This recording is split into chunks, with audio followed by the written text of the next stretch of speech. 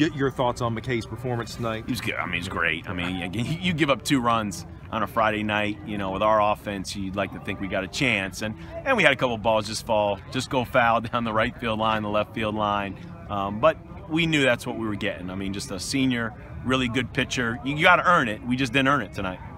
It was a not not well. It was kind of a pitching duel tonight, but these guys, I mean, they've been known to knock them out of the park, and yeah, that's it. Just shows you how well Brendan and right. Sam pitched. That you know, um, to only score one run, uh, you only give up two against Wake Forest. I mean, you, you, you got to take advantage of those games, and we just didn't tonight. Dan, quick turnaround now for you guys. Yeah, that's what you love about baseball. But it's the same thing tomorrow. It's, it's an electric fastball. It's a good pitcher.